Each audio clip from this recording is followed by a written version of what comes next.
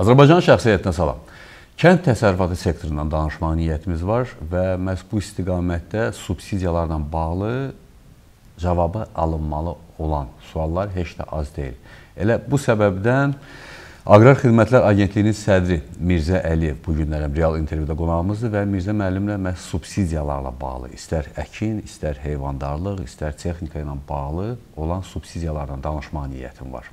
Mirzə müəllim, hər vaxtınız xeyir. Hər vaxtınız İlkin olaraq məs mən ə, e, Aqrar Xidmətlər Agentliyinin sədrinə elə birinci sualım nədir? Subsidiya. Deyirik, düzdür, danışırıq, amma hər halda mən subsidiyalarla bağlı hansı sahələrin ümumiyyətlə subsidiyalaşması nəzərdə tutulub? Birinci bundan başlayaq, sonra həmin o problemlərə qayıdaraq. Təşəkkür edirəm. Bildiyiniz kimi kənd təsərrüfatı və qeyd etdiyiniz kimi iqtisadiyyatımızın aparıcı istiqamətlərindən biridir və təbii ki, dövlətin də bu istiqamətdə çoxsaylı dəstək və güzəşt mexanizmləri var fermerlərimiz üçün, sahibkarlarımız üçün. Bura ilk növbədə təbii olaraq vergi tutmalarının ümumiyyətlə olmaması, bilirsiniz, kənd təsərrüfatının məhsullarının istehsalı bütövlükdə vergidən, gömrük rüsumlarından azaddır. Dövlət tərəfindən əkin üçün vacib olan suvarma suyu böyük bir miqdarda subsidiyalaşdırılır. Yəni bu sahədə fermerin ödədiyi hər hansı bir məbləğ təxminən 95 faizlik bir güzəştlə onun qapısına və yaxud sahəsinə gəlir və ə, təbii ki, ə, bu sahəyə Kənd Təsərrüfatı Nazirliyi tərəfindən də çoxsaylı ə, güzəştlər verilir. İndi bu barədə bir qədər daha detallı istərdim hə. məlumat verim.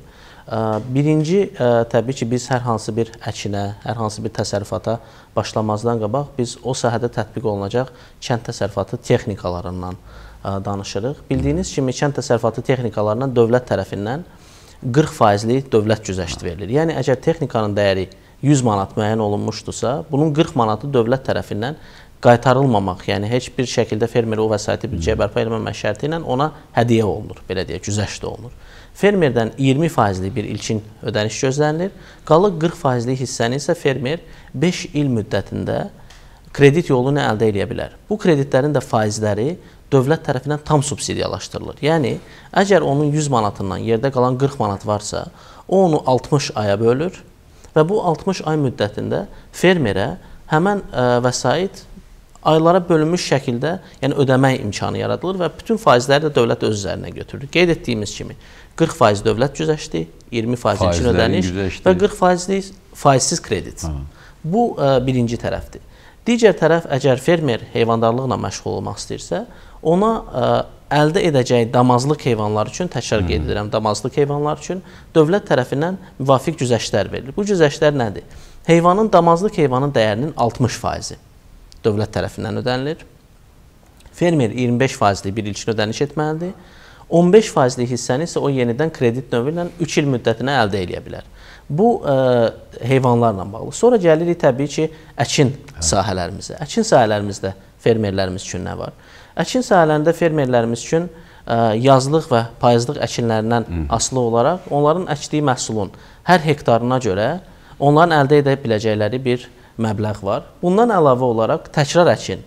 Məsələn, artıq yay ayının əvvəlində və yaxud yaz aylarının sonunda taxıl sahəsi biçildi. Hı -hı. Və bunu bir neçə aylıq periodu var fermerin ki, o sahə boş qalır. Və yaxud o bu sahədə yem bazası olaraq tutaq ki, qarğıdalı əkini ilə məşğul olur, təkrar əkinlə. Bunun üçün də dövlət əlavə bir subsidiya verir, stimul verir fermerlərimizə və bağçılıq sahəsinə, yəni çoxillik əkmələrlə məşğul olan fermerlərimiz üçün də dövlət tərəfindən müvafiq güzəştlər var və bunlar ə, hansı güzəştlərdir? bağın intensiv bağların, saldığı intensiv bağlarla daha çox məhsul əldə edə biləcəyi, təbii resurslardan minimum istifadə edə bilən bağların ilk 4 illik müddəti üçün onlara verilən növündən asılı olaraq böyük məbləğli subsidiyalardır ki, onlar bağ məhsul verənə qədər onlara dəstək olunsun və təbii ki, məhsula düşəndən sonra da bağlara verilən müvafiq subsidiyalar var. Və bununla ə, bu sahəni daha da stimullaşdırmaq üçün dövlət tərəfindən cari ildən etibarən birdəfəlik əkin subsidiyaları tətbiq olundu.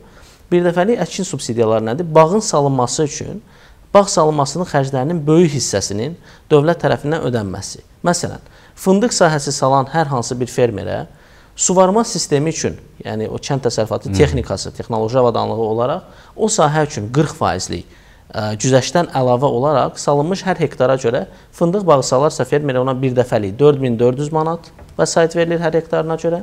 Nar bağı salarsa 5000 manat vəsait verilir. Zeytun bağı salarsa 4900 manat vəsait verilir. Portaxal bağı salırsa 9000 manat vəsait verir. Limon bağı salarsa 11000 manat vəsait verir. Əlavə olaraq üzərinə biz ə, kənd təsərrüfatı texnikası traktorlara verilən 40%lik güzəştli və faizsiz krediti, suvarmaya verilən 40%lik ə, krediti, yəni faizsiz krediti və güzəştli saysaq görürük ki, təxminən qoyulmuş investisiyanın 80-90% dövlət tərəfindən qarşılanır. Üstəgəl növbəti 4 il ərzində ilk il də daxil olmaqla bir dəfəlik əkin subsidiyası aldığı ilə də daxil olmaqla ona müvafiq məbləğlər verilir ki, o bağı saxlasın və bağ bara düşəndən sonra artıq ə, dövlət müvafiq subsidiyaları təkrarlayır, amma ə, məbləği bir qədər azalır. Hı -hı. Növbəti istiqamətimiz ə, nədir bu sahədə? Ə, heyvanlar üçün təkrar subsidiya verilir. Yəni əgər biz ənənəvi ə, belə deyək, milli, yerli cinslərdən istifadə ediriksə, süni mayalanma yolu ilə daha məhsuldar cinslərə keçid üçün doğulan hər buzova görə dövlət tərəfindən 100 manatlıq subsidiya verilir. Buzovun doğuldu, bəyan edirsən 100 manatını alırsan. Bu heyvan subsidiyasıdır. Arı yeşiklərinə görə, yəni arı ailəsinə hə, görə, hə. hər qutuya görə dövlət tərəfindən 10 manatlıq əlavə bir subsidiya var, arı subsidiyası kimi. Baramaçılıqla yeri gəlmişkən indi mövsümüdür, fermerlərimiz saxlayırlar.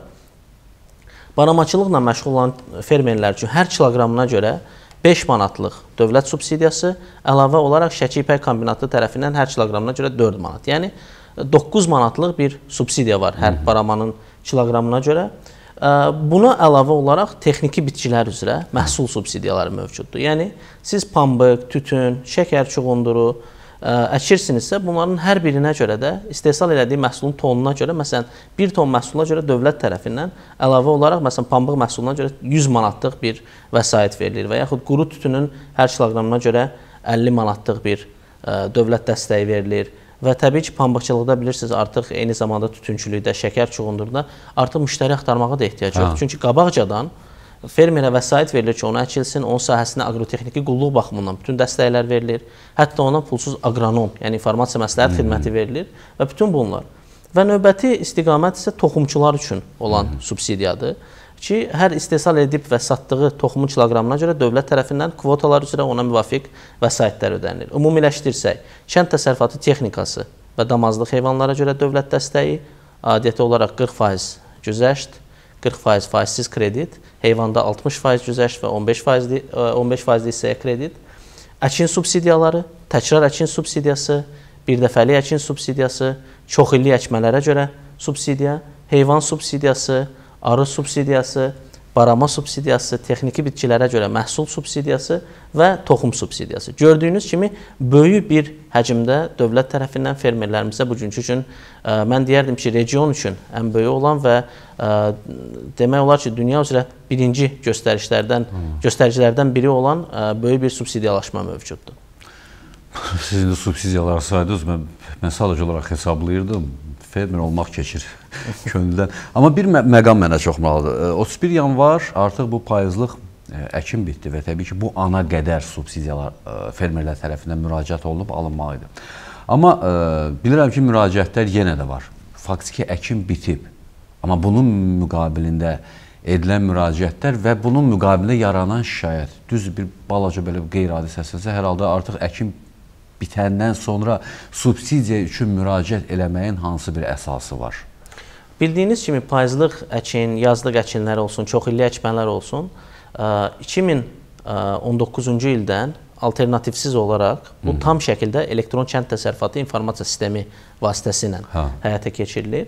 Və necə ki bizim digər sahələrdə, məsələn, tələbə qəbulunda müəyyən tarixlər var. Uşaqlarımızı məktəbə qoyanda müəyyən tarixlər var ki, filan tarixə qədər müraciət eləməlisən. Hə. Yəni yəni tədris ili 15 sentyabrda başlayırsa, sən gəlib oktyabrda deyə bilməzsən ki, mən uşağımı birinci sinifə göndərirəm. Təbii. Onun müddətləri var, qaydalar var və s. Eyni məsələ də subsidiyalardadır. Yəni siz payızlıq əkininizi elədiniz. Bir çox hallarda bu dekabrın 15-nə qədər tam yekunlaşır. Payızlıq əkin bitdi. Yanvar ayının 31-nə qədər gəlib əkin bəyanını həyata keçirmək lazımdır ki, müvafiq baxışlar, istər peyk çəkilişləri, istər yerində müşahidələr və s. bitsin və fermerlərimiz vaxtında ə, subsidiyalarını alsınlar. Yəni sizin dediyinizi bir qədər rəqəmlərdə icazənizlə açaq. Bu il payızlıq əkin bəyanlarına biz baxdıqda görürük ki, 306 min nəfər fermerimiz 969 min hektar ərazidə payızlıq əkin etdiklərini bəyan ediblər. Hı -hı. Ümumilikdə cəmi götürsək. Bu fermerlərimizdən, yəni 306 min fermerimizdən 35 min nəfərindən artığı bu bəyanı tarixindən sonra eləyib. Yəni 31 yanvardan daha sonra eləyib.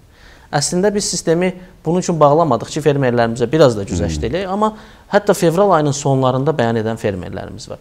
Və təsəvvür edin, bugünkü gün subsidiyaların ödənişi 96% fermerə ödənilib. Əgər biz düşünsək ki, 35 min fermer, yəni 306 min fermerdən 35 mini daha sonra bəyan edib, yəni tarixdən sonra və bugünkü gün bizdə subsidiya ödəniləcək qalan fermerlər 4%dir.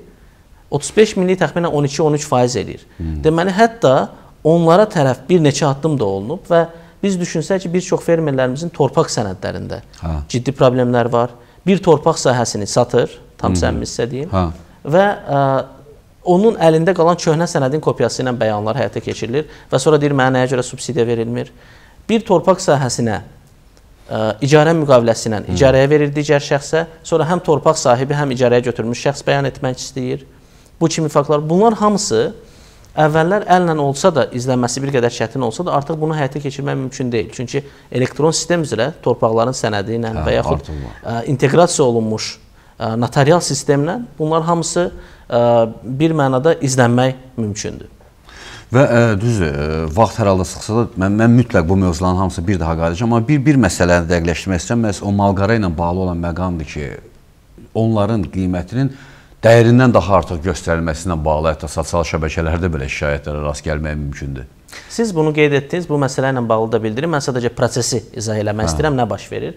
Bildiyiniz kimi dövlət güzəştləri, yəni 60 faizli damazlıq heyvanları olan güzəştlər əsasən kənd təsərrüfatı inkişaf etmiş aparıcı ölkələrdən idxalına icazə verilir. Təsəvvür eləyin, ə, hər hansı bir şəxs Avstriyadan damazlıq heyvan gətirib satmaq Hı -hı. istəyir. Nə baş verəcək?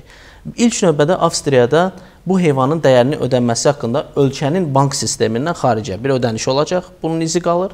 İkinci məsələ Avstriyada həmən alqı-satqı elektron qaydada qaymələşdirilir. Avstriya gömrüyündən ixrac olunur. Bu qalır. Bir neçə tranzit ölkələrdən keçir. Azərbaycan gömrük sistemindən idxal olunur. Hə.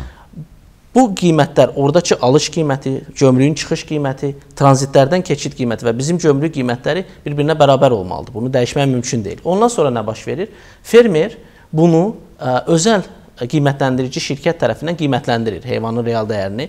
Bundan sonra sığorta şirkəti qiymətləndirir, onu sığortalayır. Banka müraciət edir, kredit üçün bir dəfə Hı -hı. bank qiymətləndirir və bank elektron qaydada bu sənədləri təqdim edir Kənd Təsərrüfat Nazirliyinin müvafiq qurumuna Aqrar Kredit və İnkişaf Agentliyindən sub subsidiya üçün. Bu halda təbii ki, hər hansı bir vətəndaş və məmur kəsişməsi mümkün deyil və qeyd etdiyim bütün bu proseslər, yəni bu halda desək, Avstriyadan başlayaraq Aqrar Kredit və İnkişaf Agentliyinə subsidiya verilməsinə qədər zəncirdə bir neçə kontrol mexanizmləri var. Bir çoxu da ölkəmizdən kənardadır. Təbii ki, bu kimi hallar, neqativ halların burada edilməsi sadəcə mümkün deyil.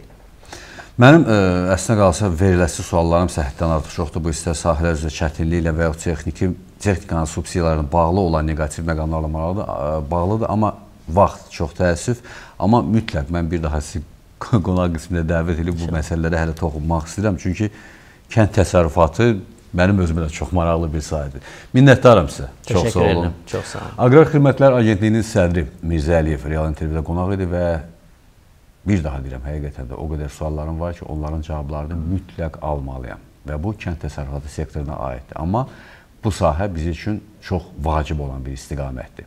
Salamat qalın. Əsas odur.